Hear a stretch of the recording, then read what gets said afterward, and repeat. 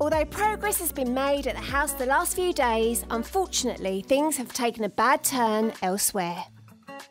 So Nelly was horse riding and I got a phone call saying that Nelly had fallen off of her horse. I could hear Nelly really crying in the background. Greg gets there, puts her in the car, went straight to A&E. They x-rayed her arm and they said straight away it's a clean break on her humerus bone. And the doctor actually said it's probably one of the most painful bones you can break in your body. You're already hot. And some water. Your heart just breaks. Like you just, you never want to see your children in pain, ever. It was just awful. Do you want the blanket on you?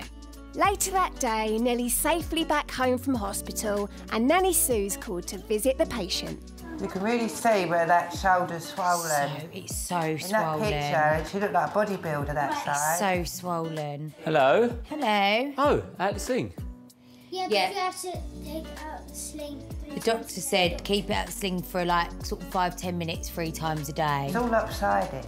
I know. I, I, I've been asked, calling her wonky. I asked him about that. That's normal. Wonky. then I say, I've still got my left hand punching right in the testicles.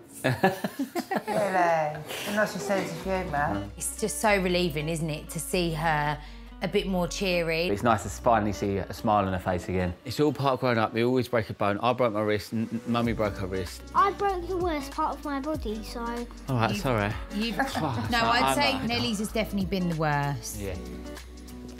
On it, wait, Joel.